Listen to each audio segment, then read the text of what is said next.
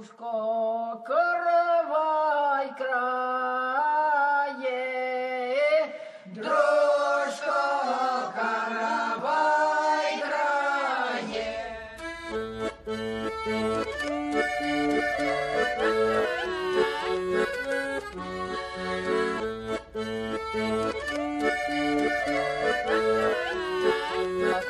Получилось, что собрались несколько студенток моих и поехали на озеро Светлояр. Это очень замечательное место в России, очень красивое. По легенде, туда ушел град Китиш, скрылся под водами этого замечательного озера. Отдыхали, пели, участвовали в фольклорном фестивале.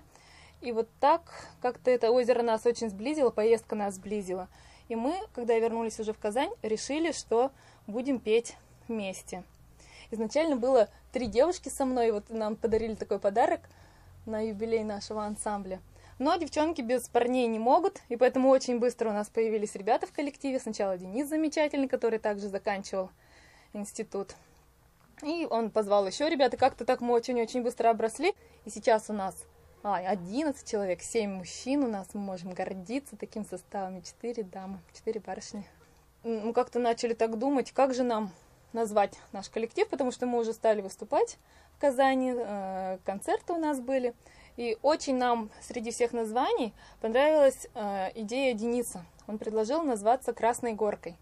Красная Горка – это праздник после Пасхи, первое воскресенье после Пасхи, когда традиционно играли свадьбы.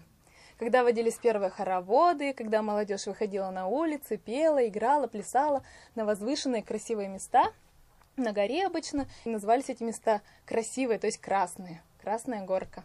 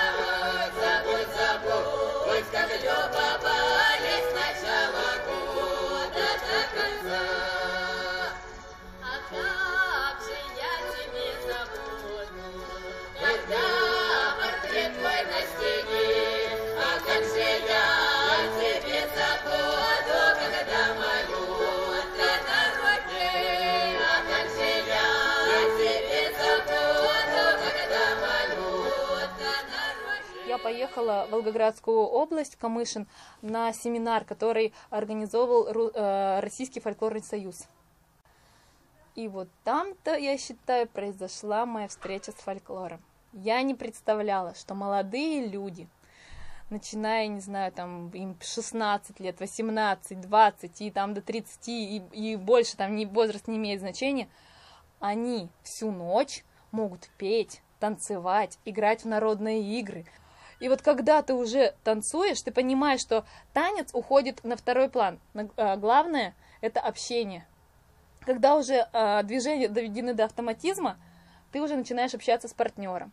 Дальше ты начинаешь общаться со всем кругом, если ты стоишь в кругу. И происходят какие-то действительно вот такие чудеса. И вот тогда меня, я заразилась. Все. И после этого я приехала, и все вот эти вечерки мы здесь начали проводить. И вот уже много-много лет, как бы вот, получается, мы проводим и в Казани, и нас уже приглашали в Россию, мы тоже выезжали проводить, потому что, ну, это ну, невозможно, это не может не нравиться.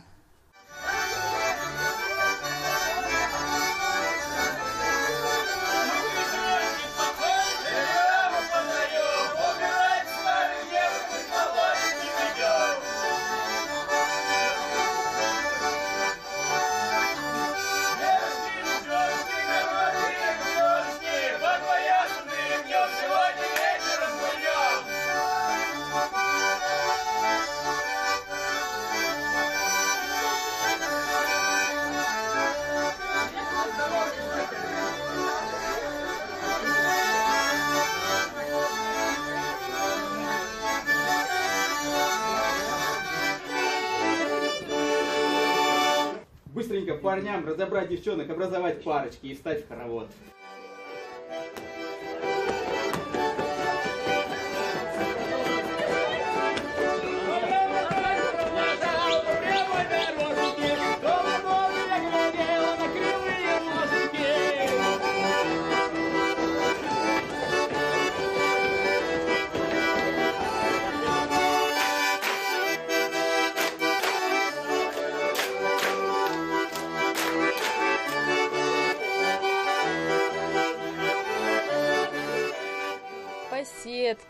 Вечеринка. По-разному их называют. У нас вот беседы называли. После того, как заканчивались полевые работы, то молодежь собиралась э, на посиделки, скажем так.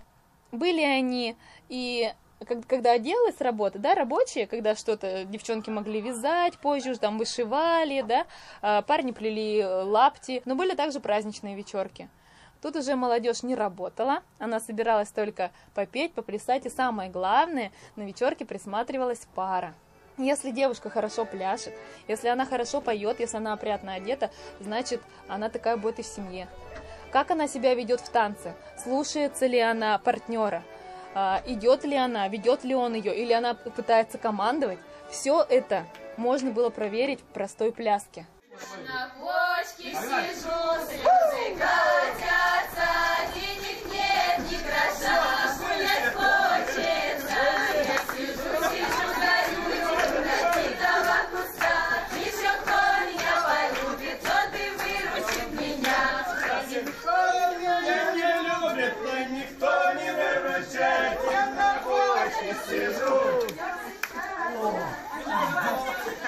Вечерка приурочена празднику Покрова Пресвятой Богородицы.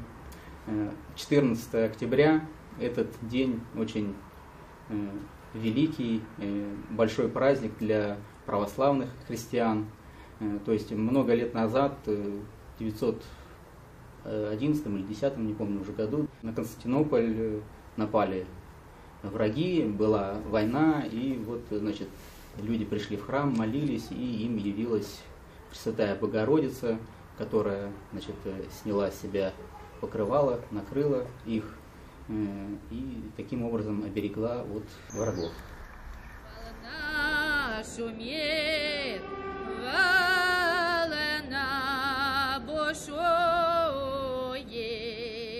В народной культуре, в народных песнях скрыт глубокий, духовный, нравственный смысл, подтекст, э, Песни, они были приурочены к какому-то действию, обряду, какой-то ситуации.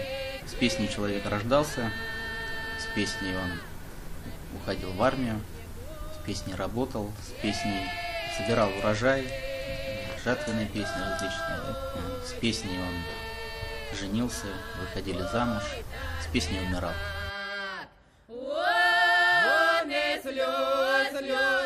Льет молодой-то рыбак. Он и слез, слезы льет. Его челнок грозой разбила ветрянице Рера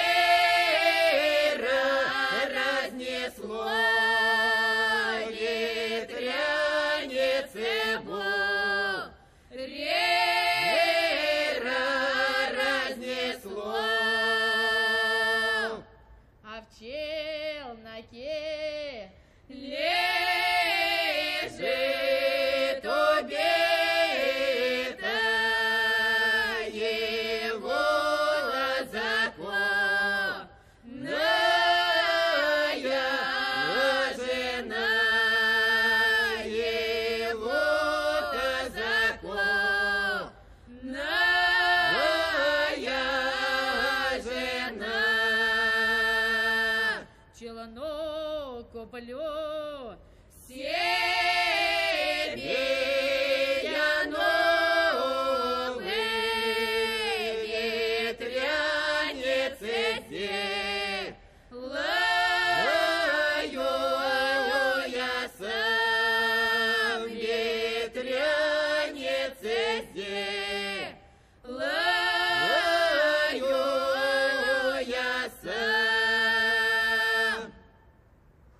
Очень нам интересно ездить в экспедиции по русским селам Республики Татарстан.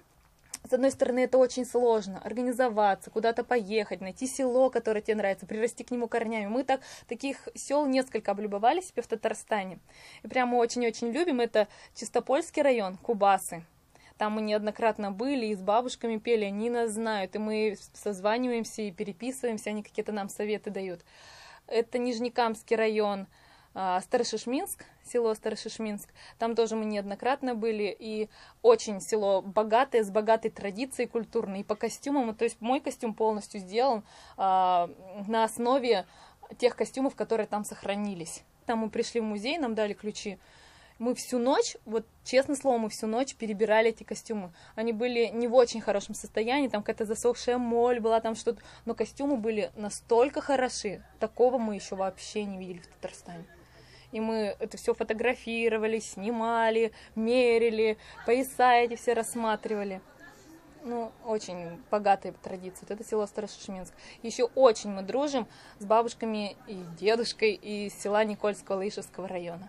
Но к ним-то мы два-три раза, четыре в год приезжаем обязательно. Еще сейчас мы встречаемся с ними на различных фестивалях, мероприятиях.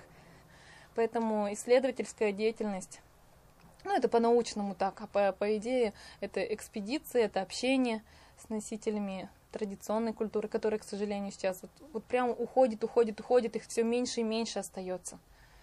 И мы прям вот цепляем, наверное, уже только то, что осталось от этой народной культуры, осталось у нас в Татарстане. А вообще мы мечтаем осесть в каком-нибудь селе, да, и вот попеть именно эту традицию. Там у всех, чтобы были по канальной записи, и каждый учит свой голос, свою бабушку, и к ним приезжать, и жить с ними подольше, и в том же огороде с ними покопаться, я не знаю, они такие замечательные все, но чаще всего они уже живут одни. И к ним внуки, если дети только приезжают, то очень редко. Ну или так по выходным, как мы все, да. А жизнь-то она проходит, и они, живя в одном месте, они знают гораздо больше тех людей, которые ездят по странам, видят весь свет, мир, да. Они такие мудрые, они знают, настолько знают жизнь. Прям порой удивляешься, откуда в наших женщинах, в наших мужчинах, бабушках, да, вот, вот это все есть. Откуда?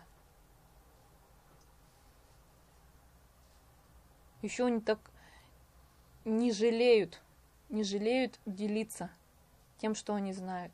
Да, песня, поют тебе песню. Они же отдают, они же за это вообще ничего не просят. И только уже от нас потом зависит, насколько мы добросовестно к этому относимся. Возвращаем мы эти песни или собрали, и они у нас лежат там непонятно, пылятся опять сто лет, и никто их петь не будет. Вот это, конечно, самый такой вопрос. Чтобы то, что хотя бы ты собрал, вот, Пусть сейчас мы немного собираем уже. И пусть у нас экспедиции не так часто, как бы хотелось, но все равно мы как-то выезжаем. И хотелось бы, чтобы эти песни звучали. Куда, Ваня, едешь? Куда уезжаешь? На кого ж ты, Ваня, Маню спокидаешь? Спокидаю Маню, к единому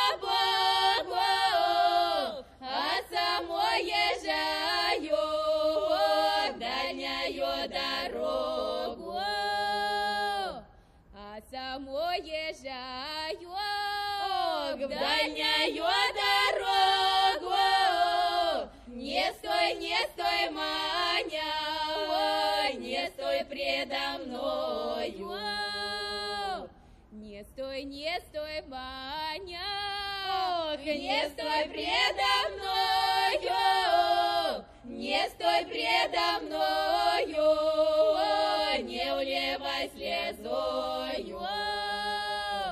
Не стой предо мною, не уливай слезою, а то люди скажут, что я жил с тобою. То люди скажут, что я жил с тобою. Пускай люди говорят,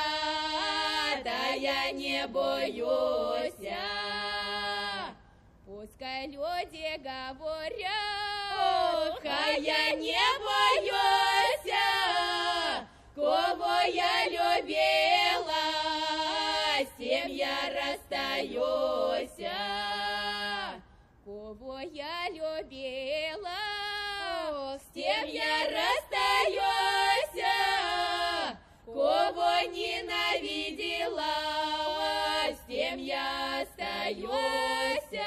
Вот мы же поем не только фольклор. Допустим, мы делаем концерт, там есть и авторская песня, а, есть обработки народной песни. Но очень интересно включать фольклорные произведения, местный фольклор в такую, допустим, большую программу. И люди на самом деле никогда не остаются равнодушными. Эмоции разные. Кому-то может быть смешно, кто-то вообще не понимает о чем, кому-то нравится. Но равнодушие я вообще не встречала, на самом деле. Ни среди детей, ни среди взрослого поколения, ни среди молодежи. Равнодушия нет. То есть, значит, где-то внутри каждого это задевает. Пора, но как выразить эмоцию, они просто не знают. Я говорю, кто-то просто смеется. Плохо фольклор мы не имеем права петь. Потому что ну, это настолько уже элитарное искусство, его понимают не все. Если э, раньше эта музыка звучала в каждой семье, да, в каждом доме, на любом празднике, и одежда такая, допустим, да, все так были одеты, это считалось нормально, причем ярко же, красиво, то сейчас это уже все ушло, и плохо это преподносить. Обманывать людей мы не имеем права. То есть это должно быть сделано на таком хорошем уровне. Вот к этому мы, конечно, стремимся. Не всегда получается. И очень важно попасть в традицию, передать, исполнить так, постараться все сохранить, не придумать что-то свое, не заменить слово, которое я не понимаю или не поймут мои зрители, а попытаться объяснить и донести до зрителя. Вы говорите, как вы выбираете песни? Я ехала и думала, что не мы выбираем песни, а песни выбирает нас на определенном каком-то этапе нашей жизни. Сегодня я могу пройти мимо этой песни. Да, я ее послушала, но я ее даже не заметила. Она не запала мне в сердце вообще. А потом проходит какое-то время, и она выбирает меня и помогает мне что-то понять. Песни выбирают нас. А за Дунаем, за рекой, а Дунаем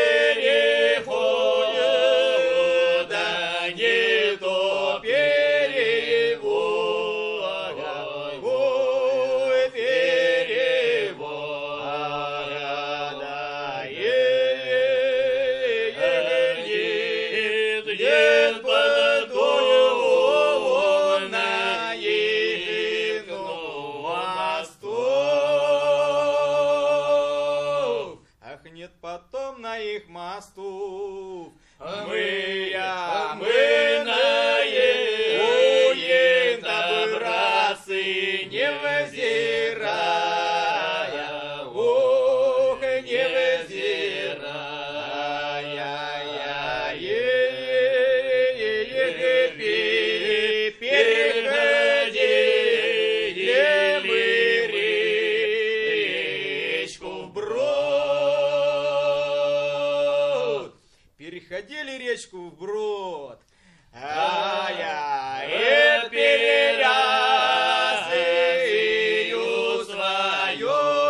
Свою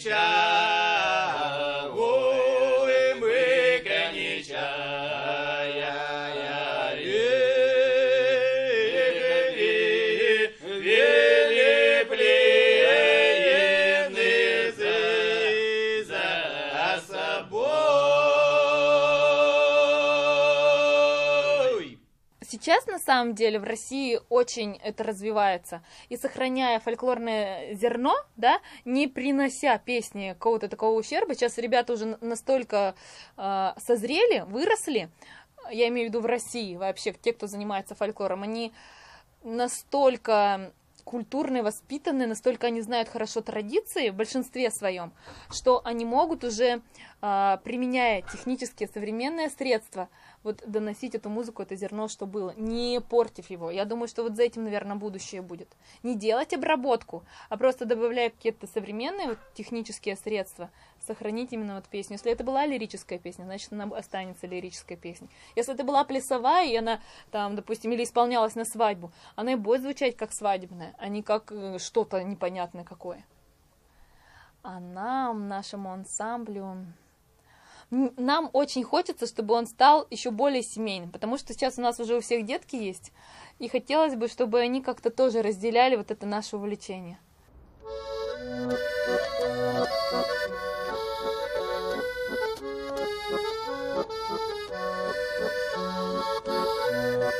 Thank you.